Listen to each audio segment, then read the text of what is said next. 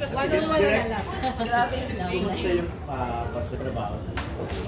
Nahirapan ka pa? Ah, oo, mahirap po talaga magtrabaho sa, lalo na po sa ibang bansa, sa Georgia siya sinut, Georgia the country, and nagne-negative 2 degrees doon. Iba pa yung wind na sinasabi nila, so parang negative 10. So, sobrang hirap. Muntik na ako ma-hospital. Actually, na-hospital ako. Oo. Um, so, sobrang lamig talaga na pag nandun ka sa labas. Tapos, ano, kasi at least ang artista, maka, after na eksena, papasok ka agad eh. Pero yung staff kasi, nakababad kami sa labas. So, sobra talaga. Kaya mahirap mag-shoot talaga. Weather, weather lang, nahirapan. Because of we- the weather. weather. Tsaka ano, syempre mahirap din yung material um, for the actors. So, uh, iniingatan namin yung mga characters nila kasi mga dual personality yung mga ginagawa nila dito. So, we had workshops and um, yun, nag-workshop naman sila. Tapos during the shoot, meron din, na, pinadala ko rin yung acting coach ko doon. Assistant ko rin, ako rin, tinutulak ko sila. So, uh, yun. Ba't kasi doon ka nag-shoot? Nahihirapan mo sarili. Maganda naman ah. actually, ano, um, nung time na nagko-conceptualize ako ng kwento, naghahanap ako ng bansa na sobrang konti lang ang Pilipino. Yung cinematographer ko told me na, oh, why, not in Georgia? Tapos sabi ko, Georgia, bakit? Akala ko Georgia the state. Sabi ko, ang dami-dami Pinoy doon eh, sa states eh. Hindi, Georgia the country. Tapos wala akong idea kung ano yung Georgia the country. So, nung ni-research ko siya, ah, naging interested ako because of, yun nga, ang ganda nung bansa. Tapos on, um, 30 Filipinos lang ang nandun. Oo. Kaya, kaya tsaka yung mga trabaho ng Pinoy doon, professional sila, like head of construction, architects, and ano, wala talaga na, or OFW, ah, ano, sorry, ah, domestic helper, walang mga ganon. Kasi yung sweldo sa Georgia, halos pareho lang sa Pilipinas. So, kaya mga professionals yung mga, nandun, o kaya asawa ng expats, mga ganun. So, lahat sila na-meet ko, yung mga, Pilip, mga Filipinong doon. Tapos yun, tumulong sila sa shoot, nag-catering sila. Kasi syempre yung pagkain sa Georgia masarap, pero alam mo naman tayong kanin kulang. Ito mga bread, bread. So, namimiss agad yung Pinoy food. Dala ko yung mga permits sa mga Or permits lang actually. Ah, yes, Ah, meron kaming counterpart film production outfit sa Georgia. So, malaking bagay yon. So, um, ang ganda nung counterpart namin kasi so may film production doon. So, bawat um, staff sa amin merong ano, like for example, assistant ng DOP, assistant ng assistant director, assistant ng ang production design. Ako din may personal assistant ako. So, ayun, parang, parang Hollywood yung ano, style nila. Tapos, so, kaya hindi kami nahirapan. Sila na yung bahala sa mga permits and everything. Ilang days kayo doon? Days mo. Ilang days ka na hospital? Wala pa ng mga ano. sabi ko, hindi, hindi ako na-confine naman. Sabi ko, ayoko, kaya kasi may shoot ako the next day. Nahimatay lang kasi ako. sa sobrang lamig. Then ano, nakatulog ako, nahimatay ako sa loob ng CR. Kasi CR namin, dun may heater. Bigla na lang ako, ano na lang. Wala kasi, akala ko ano, may yung CR namin, yung toilet namin, portable toilet, pero naka-flush yun. Dalawa, dalawa doon, tapos mainit. Sabi ko, may tao pa, upo muna ako, tapos di na ako nagising pala. So, so hinahanap nila ako, nung nagising ako, parang hindi ako makasalita, and ano, parang siguro bumaba yung potassium ko, or ano. Oo, yun nga eh. Dapat pa isa. Yun, pinanong, pinanong ako ng saging, medyo nabuhayan ako, tapos nahimatay ulit ako. Oo. Ulit ka pa sa direct. Why not? Nabanggit mo direct yung pinakamahirap mong nagawa sa buong karera mo. Oo. Da, um, bukod sa location, suspense drama rin kasi siya eh. So, first time kong gagawa ng suspense drama and konting thrill sa pelikula. Um, kung napanood niyo yung mga pelikula ko, lahat naman to love stories, yung mga pelikula ko. Pero wala pa na suspense drama. So, mahirap for me, creative-wise, and um, 3 hours 40 minutes completed. an Burned calories process. 1,501 Sian. calories. So, mahirap for Sian and Christine din yung ginawa nila. Pero kumusta silang hindi rin? Um, ano, um, nag-ano sila, uh, nag, require ko talaga na magkaroon ng workshops. And yung, yung physical transformation, very important sa akin. Tinapat ko naman sila eh, na you have to look the part. If you really want the role, you have to look the part. So, siyan, you have to gain 20 pounds. Tapos, on, kailangan na may stubble. Sabi ko, kasi masyado kang gwapo, masyadong model, malinis. Kung gusto mo talaga, kailangan ng ganito. And you have to take 10 workshop days more. Si Christine, sabi ko, hindi hindi ako mapayag ng wig eh. So, very important yung red hair. Pag napanood niyo yung pelikula, important yung red hair. So, sabi ko, hindi ako papayag ng wig. So, kailangan may cut short yung hair mo, kailangan ipakulayan ng red. So, it's a non, ano yun talaga, non-negotiable deal with them. So, um, yeah, I'm very happy na sobrang dedicated sila, even pati doon sa mga workshops namin. Nakadeliver. Yes, for me, ako, I'm very proud of them nung nung sinushoot na. Mahirap talaga, even during the shoot, hindi ko sinasabi na napakadali lang nila i-direct na ano, kasi sila rin nahirapan eh. Kasi, syempre yung shooting namin, um, hindi naman siya chronological order, di ba? Parang makatipid sa isang location, ganito yung character. So, baliw-baliw na rin sila lahat. So, kailangan nilang mag-focus talaga sa acting nila. Kung sinulat mo ba to, meron ka ah, experience mo o sa mga kaibigan mo, kakilala mo? Kasi paano mo naisip? Ano ba naisip to? Ito ba yung the other side of The other side of ano, killer kasi talaga. Marami akong gustong pakanin in life. So, pinatay ko na lang sa pelikula. so, hindi. Um, maniisip to. Ah, kasi hindi siya, when you watch the film, wala naman akong ganung experience. Baka sabihin nyo naman na grabe yung, grabe naman yung experience. So, hindi naman. Siguro nung time, kasi after na Mr. Mrs. Cruz, um, napagod na rin ako gumawa siguro ng, gusto ko naman iba eh. Every film ko naman, kahit sabihin nyo na love story, iba pa rin siya. So, sabi ko, sobrang dream ko gumawa ng suspense, thriller film. And I always want to challenge myself. So why not? Sabi ko, after Mr. Mrs. Cruz, completely iba naman.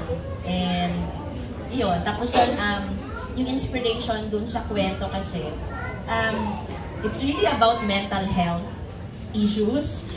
Ah, hindi man siya, syempre, suspense thriller to eh, but yung, yung lalim niya, it's really about mental health issues. Yun. So, Sila ba yung first choice niyo on this film? um, hindi talaga, si- yung script talaga, talagang sinulat ko for another actress. And I think alam naman ng lahat yan. Um, so, hindi natuloy, and binigay sa akin si Christine and si Yan. But, um, in-adjust ko yung script din para sa kanila. Yung pagre-rehearse po, sabi ni na Sian, pina-rehearse niyo daw sila ng pina-rehearse. Theater style ba yun? Saan ang galing yun? Yes, so ano kami, yung process ko kasi, uh, pre-production and then script analysis. And then um, reading, reading ng with the whole team para alam din ng staff and then ng actors yung intentions, ko ba ginagawa, intentions ng, ng kwento and ano, um, yung process na kasi background ko theater. And I think that's a good process na dapat dalhin sa pelikula na dapat ang staff and ang actors nagre-read sabay-sabay para nai-imagine nyo na rin kung ano yung mangyayari. And tapos may script analysis para um, maintindihan nila yung kwento, hindi yung basta sabak na lang ng sabak yung mga artista. Hindi po kayo naniniwala na mawawala yung rawness pag? Ah, iba naman yung pagdating mo sa set kasi, iba yung na-rehearse mo. And kung sobrang na-rehearse na na-rehearse mo siya, may lalabas dyan na iba. Yun yung rawness. Sa sobrang over-rehearsed ka na, may may isip ka na, pwede ka na mag-experiment eh. So, Mas marami yun. direct ang rehearsal kesa sa Marami take. yung, Nangyayari yun? Or... marami rin yung take. Ah, talaga? Kahit nag-rehearse na nag-rehearse. Oo, marami rin yung take. Marami rin. Pero syempre, um, hindi na katulad nung dati. Kasi si Sian kasi, um, hindi naman siya, ano tawag dito, I think first time niya magkaroon ng ganitong role. And so inaral ko rin, even si Christine, marami na siyang role. na- 3 hours 45 minutes completed. So, Burned ilang calories parang- 1,535 calories. kung ano yung mannerisms nila, and ano yung bad mannerisms nila, pati rin si Sian kung ano yung faults nila. So even yung eyes and the facial expressions and ano, iniba talaga para maging iba sila dun sa. So, perfectionist ka. Ha? Perfectionist. Um, oo, di ba dapat lahat naman tayo we should aim for perfection? Kasi si, naikwento ni Sian na may na may eksena na parang nagalit na si Christine. Oo. Pero lahat naman may pipitik ka eh. Sa seka sobrang, alam mo yan, pressured ka sa role mo, pressured ka sa environment mo, yung weather pa, mapipikon ka. Pero at the end of the day, wala akong pakialam sa inyo. Let's just do our job. Yung drama nyo, lagyan natin on-screen, wag, wag off-screen. Yun ang importante sa akin. So, yun. Nandun po kayo direct. So nagkapikunan. Hindi kayo nagkapikunan. Ayun si Pearly. Sorry, ano yung tanong? Hindi kayo nagkapikunan o nag-aaway kayo. With Christine. Lalo na si Christine, iba kasi ugali nun. Ay, Ay, hindi. Ano naman eh. Um, hindi, okay kami. Ah, iba rin naman yung ugali ko. So, then, okay kami. Alam mo, dun sa set, ang gusto ko lang kay Christine and kay Sian, very professional sila. And gagawin nila talaga. Gagawin nila talaga lahat ng pinapagawa ko. Kasi para rin naman sa kanila yun eh. Alam nila rin. And nag-ano sila, nag, um, tawag dito, nag-rehearse sila, 10, 10 workshop days yun. So, alam naman nila yung hirap nila, di ba doon? So, yun. Nandun kayo direct nung sinabihan ni Christine si Sian na ayusin mo naman, may ganun. A- ano yung ano yung story behind that ano? Um, I think yung sinasabi ni Sian yung nung may isang eksena na inuman noon, tapos yun, um, minsan parang napikon lang ako si Christine. Ano siya parang, ah, inumanan lang naman. Ah. Oo, pero parang, kasi makulit si Sian minsan eh. Eh syempre si Christina, sa character niya, yung iba yung role. So, dual roles to eh. So, nag, as an actor, di ba, layo-layo mo yung mukha mo sa akin, nag-concentrate ako, di ba? Tapos ito si Sian, syempre, nasa role siya na iba. So, hindi siya dun sa serious role. So, iba eh. So, syempre, yung nag-characterization si Sian na loko-loko, si, si Christine nagkaka, may character na hindi loko-loko. So, para pag pinag-meet ng dalawa, nag pero okay naman sila after. Wala namang problema. So, Direk yung previous films mo ba, nagre-rehearsal ka din ng katulad ng ganito ka-rigid na ginawa mo? Oo. Ah, yung Mr. and Mrs. Cruz, may workshop din, si- lalo na si Riza. 10, 10 days din yung workshop. Because it's it's a very talkies film. And si Riza, nakikita ko yung sa speech niya, kailangan ayusin. So, yun. Direct between, between the two um, places, yung yung sa Kita Kita, which is which was shot in Japan, and this one in Georgia, which is rather sad. Which is more sad to you? And what what um what what particular charm ang nakita mo sa Georgia? Mas, ah, yung, yung Hokkaido kasi, ah, summer nun eh, nung nandun kami. So, mas vibrant, mas full of colors. And even the story is lighter. So, yung ano kasi, kaya ko rin nagustuhan yung Georgia, yung mystery behind it. And very dark, winter, it's cold, and even yung sa story, it's cold also. So, yun yung, kaya bagay yung Georgia So between the two characters, si Joaquin and, and Mara, who would you side if you... Kasi pareho silang, they're telling their their own stories. Naku, hindi ba spoiler pag nag-sign ako? Personal mo lang. hindi, ako, siguro kung saan ako, meron akong Mara, meron din akong ano, Joaquin. Direk, sa tingin mo mananalo ng award ng dalawang artista mo sa Ansu? Sana, manalo sila. Pero alam mo yun, hindi naman, hindi naman ako gumagawa ng pelikula or ano para sa award. And ang, ang sa akin, malaking award or reward na yung mapansin yung acting nila na hindi sila si Christine Reyes, hindi sila si Sian Lim, but sila si Joaquin at saka si Mara. So I think yun yung malaking reward for them. More than the awards. Direct hindi ba nagdalawang isip? Okay na. Ah, yeah. Um, it was selected sa Tokyo International Film Festival last October. And ngayon, ah, in competition... 3 hours 50 minutes completed. Burned calories 1,569 calories.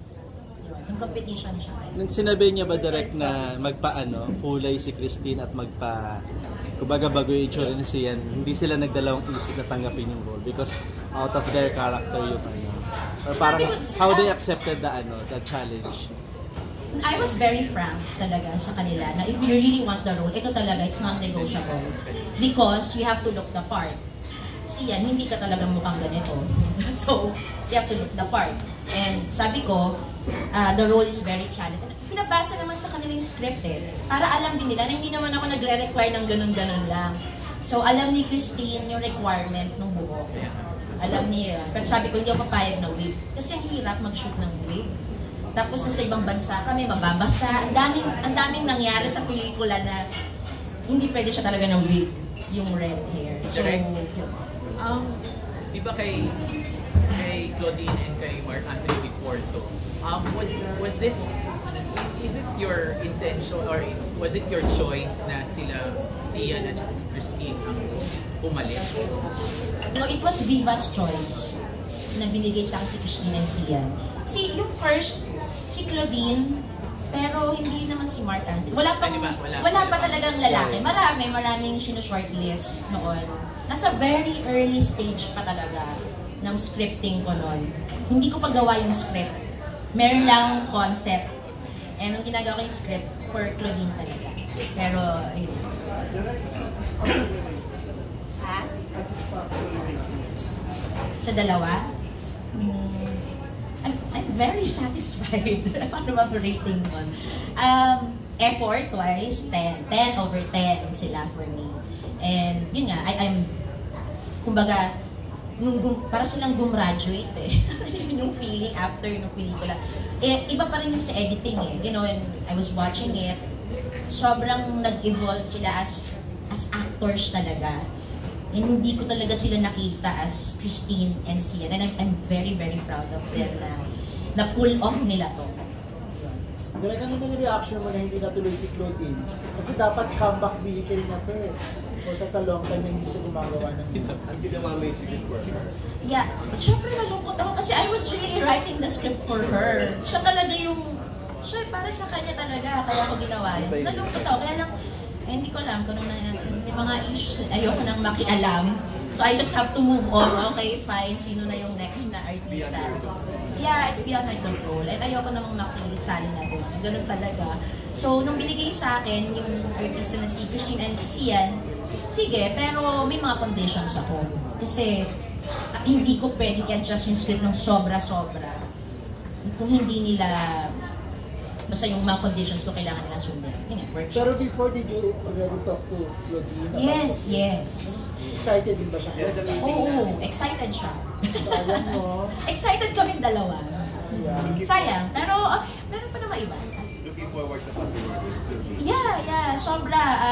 ang ganda ng meet up namin eh. Sobra kaming excited talaga to work together. Excited siya to do the film. And yun nga. But dami pa namang next time. I am still excited to work with her. Kasi sob, ah, sobrang idol ko rin si Claudine nung pa, bata pa ako. Nagagalingan ako sa kanya. So, yun nga. Talaga naman sabi mo, isang Asian film na nalo sa Oscar. Oo nga eh. I think there's hope. there's hope for Filipino films. Malay mo, manalo sa Oscars. Then, isa sa mga Pinoy films. So, I'm very proud of Direk Bong Joon-ho and for the Parasite team. Siyempre, I love Parasite. So, yeah. Hope naman sa Filipino film. Hmm? May hope sa Filipino film. Yes, so, and sa Asian films. And uh, yun yung maganda eh, kasi parang ang daming nanood ng Parasite. Hindi lang sa nagkaroon ng award siya. Kasi ano na lang yun eh, parang ano na label na lang yun, di ba, yung awards. Oo. Pero yung maraming nakapanood ng Parasite all over the world. Yeah, so ibig sabihin, na nag-open ang doors sa mga taong nagbabasa ng subtitles. Mo yun na parang, uy, pwede rin pala, no? Maganda din pala yung mga non-English ano films. So. Direk, balik lang tayo dun sa characters, no? Uh, yun, we all know that the, the film is all about mental health. Pero I wanted to know, paano mo dinesign yung, yung mga characters? Paano? 3 hours 55 minutes completed. Characters they stand out Burned calories 1603 calories. specifically anong meron sila, kung ano nila, and uh, anong intention ng character. So can you just share with us uh, the process of creating those characters in the show? Um, okay, without spoiling it. Kasi meron sa, sa, sa pelikula, nagsimula talaga sa isang incident kung bakit nangyari itong kaguluhan kung bakit nag-transform sila into two characters, he said, she said siya. Kasi merong nangyaring major incident. And yung major incident na yon, um, yun yung about the mental health talaga. So from there, there's revenge, there's um, kaya nagkaroon merong he said, she said, doon na nagsimula, kumbaga nanganak na yung characters because of that simple incident na yun. So parang ganun din, you know, in life, na parang you have this small incident and you thought it was really small, pero malaking bagay yon para sa experience ng mga tao. So ganun din sa pelikula. How long did it take you para ma-complete yung, yung story naman? Um, muna may concept, yun nga eh, may concept ako, but then I, nag-ocular kami sa Georgia for a week. And, iba eh. So, iba pa yung kinoconceptualize, hindi pa ako nakapunta sa Georgia eh. Pag dutuin mo doon, parang, ah, iba pala yung feel, no? So, I had to stay for three more weeks. So, three weeks ako nandun sa Georgia. So, doon ko na-conceptualize. Pero hindi ko nasulat talaga yung script. Mga five pages lang. And then, nung pagdating ko ng Pilipinas, doon ko na nasulat yung script. Siguro it took me, iba kasi yung process ko, matagal ako mag-isip. It can take me months. Yung sulat mga one week. One week ko sinulat. Um, pero months ko siya pinag-isipan. Pero ang pinaka, I think, isa pa na challenging, sinulat ko siya ng summer. Kasi summer ako nagpunta sa Georgia eh. So nung nag-ocular kami, winter siya. Yun ay nung nag-shoot pala kami, winter na siya. So I had to change my script mga two weeks before kasi winter kami mag-shoot. Tapos pagdating ko doon, yung mga establishment na nasa script ko, hindi na bukas kasi winter. So, grabe. Pagdating ko lang, ha, nandito yun eh. Ay, winter po ma'am. So, hindi siya bukas. Ko, what? So, I had to revise, gano'n. Ang dami, ang dami yung repetition. Pero mas bumagay siya sa pelikula.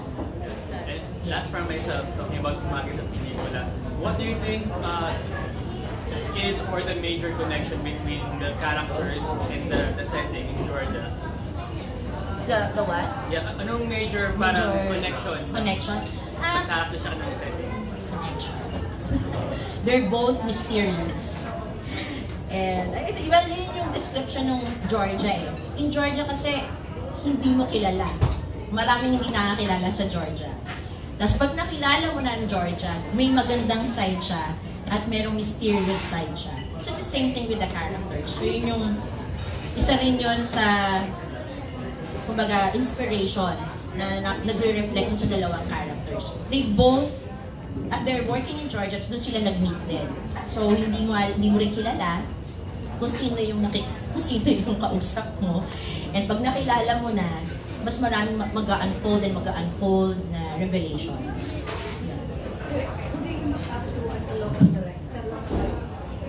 Up to. Sa mga local direct. Ang dami. Kay Love Diaz. Doon ako nag-start. Ibang-iba lang yung pelikula niya sa akin, syempre. Pero kay Love Diaz sila nag-start. So, isa siya sa mga ka-work ko.